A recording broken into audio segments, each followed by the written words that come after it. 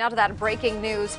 Life in prison and more for Wesley Hadsell in the killing of his stepdaughter, AJ.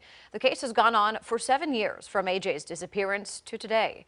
She went missing from her home in Norfolk while on spring break from Longwood University. Authorities later found her dead in Southampton County. 10 on your side's Kayla Gaskins has more from court in Franklin on Hadsell's ultimate punishment. It took seven years to get to this point. Justice for AJ Hadsell Wesley Hadsell, AJ's stepfather, stood stoic as the judge handed down his sentence, life in prison plus 15 years. While the judge handed down the sentence, he did have some pretty choice words for Hadsell.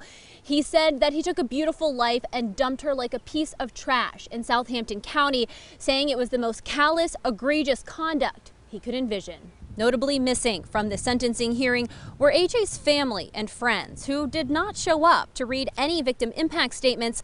The Commonwealth said they were so brokenhearted they couldn't bring themselves to come. AJ's first stepfather, a man named Zach Hoffer, came with a prepared statement.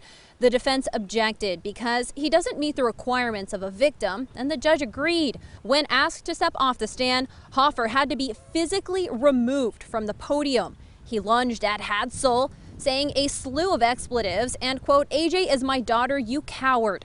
He started thrashing his arms, and it took about five deputies to control him. He is a very big guy, around 6'4 or 6'5. He was then led out of the court in handcuffs and could face charges of his own. Hadsell, for his part, sat calmly through the whole proceedings, even when he was given life in prison. The judge also said that Hadsell has earned every day of this life sentence. Hadsell does plan to appeal the verdict and he will keep his same lawyer for the appeal. In Franklin, I'm Kayla Gaskins, 10 on your side.